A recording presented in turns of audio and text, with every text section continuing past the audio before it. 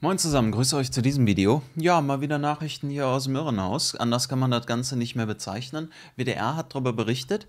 Grundsteuer trotz Zwangsenteignung. Ja, im besten Deutschland, das es jemals gegeben hat, läuft das so ab, dass hier ein Grundstücksbesitzer enteignet wird. Erstmal, das ist ja schon absoluter Wahnsinn. Natürlich alles nur für das Volk, weil das so toll ist, wird hier ein Grundstückseigentümer zwangsenteignet unfassbar, was hier passiert. Und dann heißt es nämlich hier so, der Maurice Giesberg aus Schwerte, das ist bei Dortmund in der Ecke grob gesagt, soll knapp 1750 Euro Grundsteuer zahlen für ein Grundstück, das ihm die Bundesrepublik wegen des Ausbaus der Bundesstraße 236 weggenommen hat.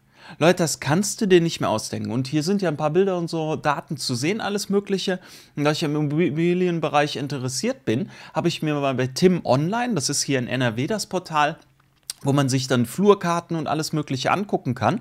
Und dann sehen wir hier, haben wir nämlich hier, zack, zack, die Bundesstraße 236. Und dann habe ich nämlich auch das passende Flurstück gefunden, das nämlich hier auch angegeben wird mit einer Größe von 1440 Quadratmeter. Wie viel hat der denn bei der Enteignung dann als Entschädigung bekommen, der liebe Maurice? Satte 15.500 Euro.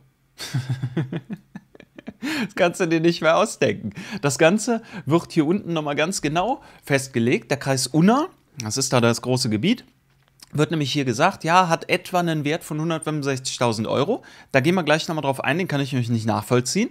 Und hier geschätzte Kosten für die Sanierung liegen bei etwa 150.000 Euro. Also kriegt der Mann hier 15,5.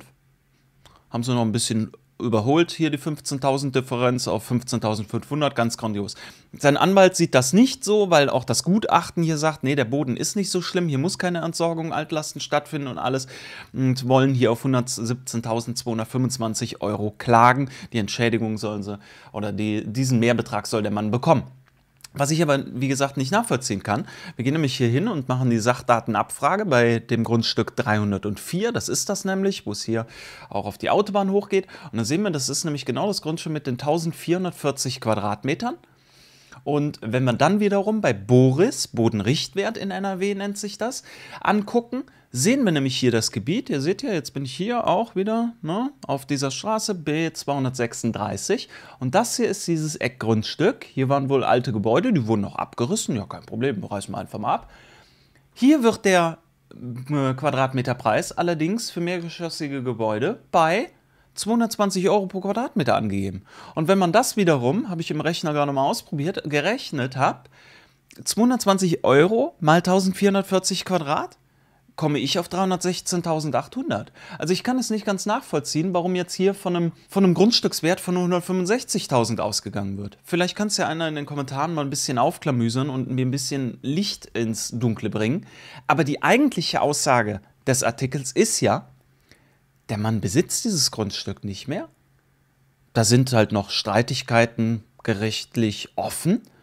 Aber nichtsdestotrotz, das, was dieser Staat kann, eine Grundsteuer von 1750 Euro zu erheben, das kannst du dir wirklich nicht mehr ausdenken. Das ist eine bodenlose Frechheit, was hier passiert. Aber schreibt mal eure Meinung unten rein.